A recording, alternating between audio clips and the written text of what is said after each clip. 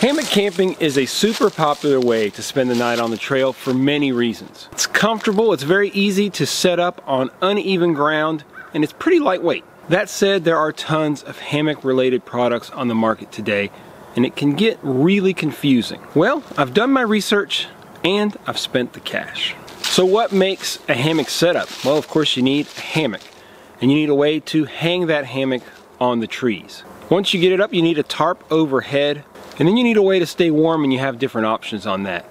After about three to three and a half years with my prior hammock setup, I decided to take it to the next level. I decided to make it the ultimate. Sometimes you need the perfect piece of gear. Sometimes you need to make the perfect kit. And sometimes you just need the perfect cup of coffee.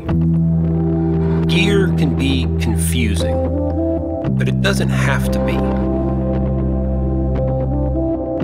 No BS, no agenda, no sponsors. Just what you need to know. Welcome to the Ultimate.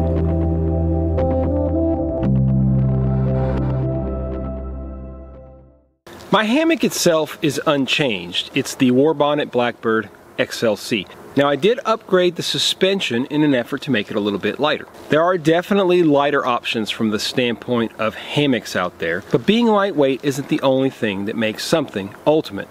I love the gear shelf that the Warbonnet Blackbird XLC has. I'll show you guys that here in a little bit when we stand it up. I use that shelf so much at night that I just can't imagine getting rid of it even to trim a little bit of weight. Now initially when I bought the hammock it came with a cinch buckle system and it worked just fine but I figured out over the years that that's a place that I could save some money so I turned to DutchwareGear.com. I got 5 foot tree huggers made by something called Spiderweb 1.5. It has a 1,000 pound breaking strength and weighs only 1.5 ounces per foot. I still use my original titanium Dutch clips to attach the spiderweb to the trees. I also got 7 64 inch whoopie slings made out of Dyneema I got red for head and black for my feet. Changing suspension saved me about six ounces in weight, cost me 50 bucks. Now let me show you guys how easy it is to put up this hammock.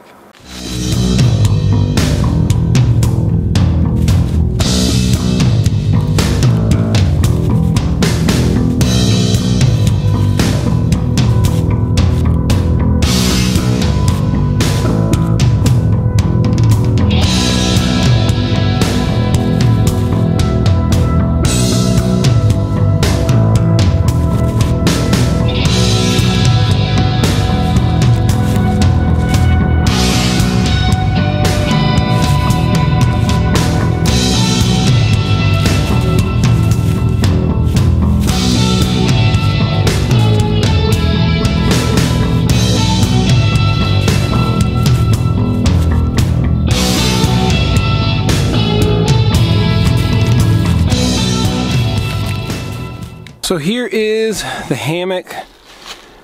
I've got the red for head. This slope looks like the head is a little bit below the feet, but it's not. It's just kind of an optical illusion of this uh, this terrain. This model has very nice bug netting. You want to be able to, whenever you get in your hammock, you want to be able to grab the ridge line and twist it just a little bit like that, even with weight on. And I am able to do that.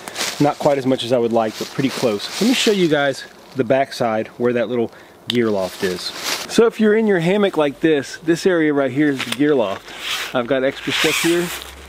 Just slide it down.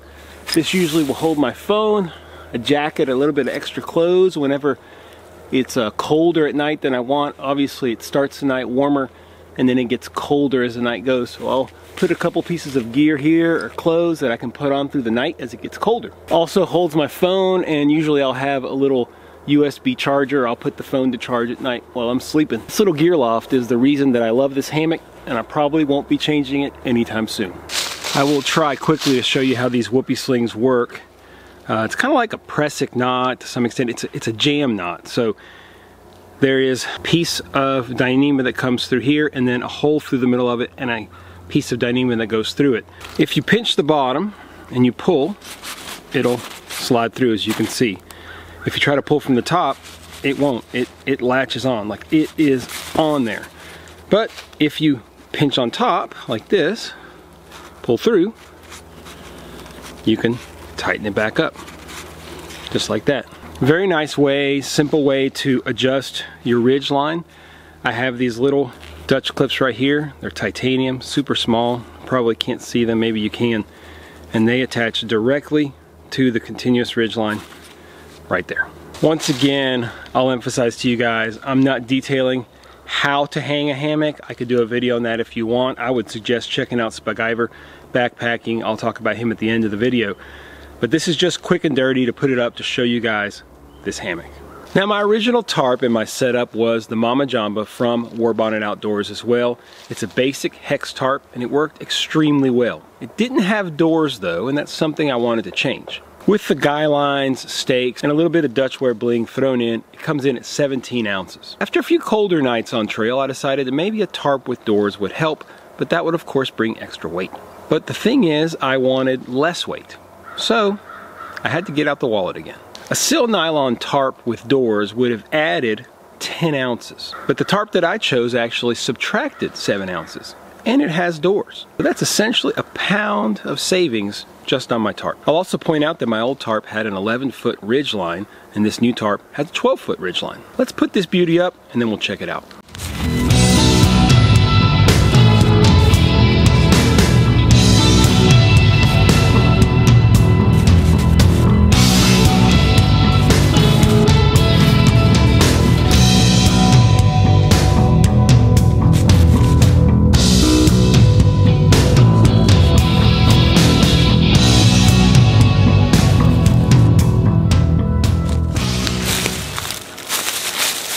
There you go.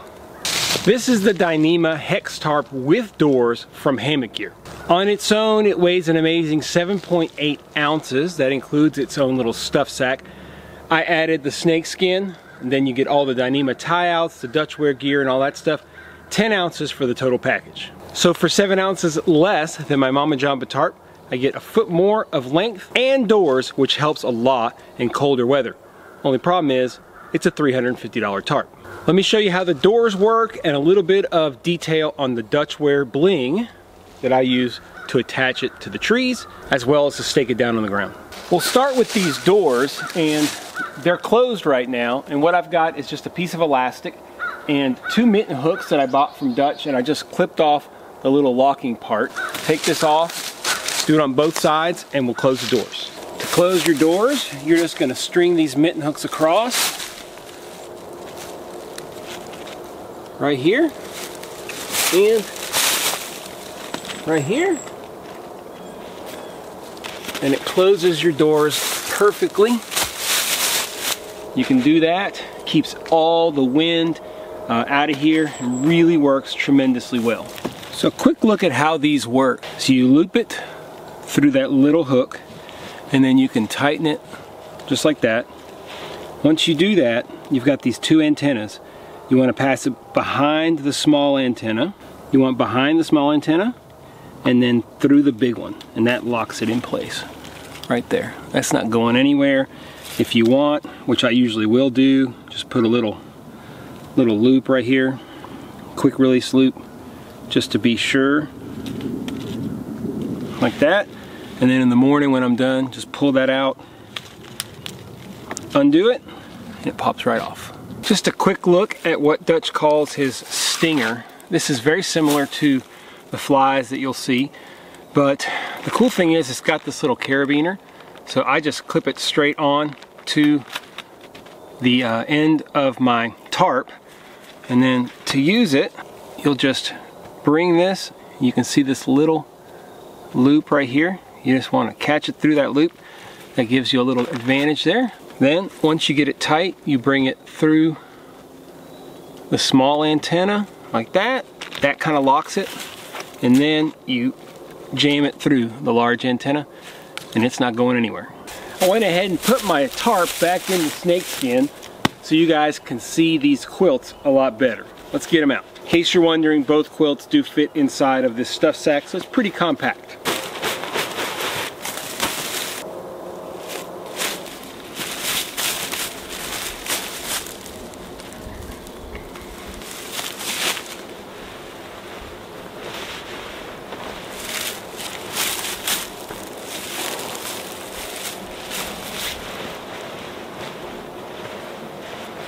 One thing I'll show you guys that I did pick up from Dutchware as well is just a very simple little clip. This attaches to your underquilt's suspension and then it attaches right here to the whoopie sling. One simple snap and you've got this underquilt on both sides. Two other nice features that allow for a lot of adjustability. You can adjust the length of basically the ridge line of your tarp easily by just tightening it up or loosening this back. You can adjust the side to side depending on which way you're lying. You also can adjust this, so you can release this and it opens this up nicely, this baffle, so it allows a little bit air in if you're hot, or you can cinch it way down so it gets right up next to your feet if it's cold. Top quilt is your standard top quilt. Um, you can get the bottom. It also has a cinch at the bottom, okay? And then this one has snaps. You can get zipper or snaps, but you can snap your foot box together, which gives you more uh, warmth down by your feet. Let me just snap this and I'll show you guys. And it's just snapped together. Basically, otherwise, it's just a really nice top quilt. So that's pretty much my setup, and I've tinkered with it for years, and I'm really happy with it. With this particular setup, I've spent maybe four or five nights out on trail. They've been much more comfortable and much lighter weight than my prior setup. This is a very confusing topic. If you have any questions, make sure you leave a comment down below. I also encourage you to check out my buddy over at Spiguyver Backpacking. He has got an awesome channel. He covers a lot of topics, but he's very much an expert in hammock camping. So check him out. I'll leave a link down below. This gear is high quality. It's not cheap. It's high quality. It's all made here in the United States. Warbonnet Outdoors is out of Colorado. Hammock Gear is based out of Ohio and Dutchware Gear is based out of Pennsylvania. It's not cheap, but it will last you. Like I said above, this is part of my Ultimate series. In fact, this is the first video in my Ultimate series. The point of this series is to try to help you navigate the confusion of all the gear that's out there. If you're wanting to put together a kit, if you're wanting to buy a specific piece of gear, and you're looking for very specific recommendations, that's what this Ultimate series is all about. I try to take everything into account, not just cost and weight, but what I think is the best piece of gear you can buy, and I explain the reasons why I made my choices. Hopefully it helps you navigate the confusion and find just the right answers and gear that you're looking for. Make sure you check down below as the Ultimate series continues. I'll put videos into a specific playlist and you'll be able to watch all the Ultimate series. It's going to have a lot of videos, guys. I have 15 or 20 already planned, so stay tuned for those. Now do me a favor, if you like the video, if you're looking forward to more ultimate videos, hit the thumbs up down below. Really helps spread things across YouTube. Tremendously helpful to my channel. If you're not subscribed, hit the subscription button, and if you want to be notified whenever I release a new video, hit that notification bell and you'll be the first to know. Hope you guys enjoyed a look at this pretty amazing hammock camping system. No doubt in my mind that it's the ultimate. If you disagree, comment down below. As always guys, I appreciate you checking out the Paleo Hiker MD channel. Stay tuned for more videos soon.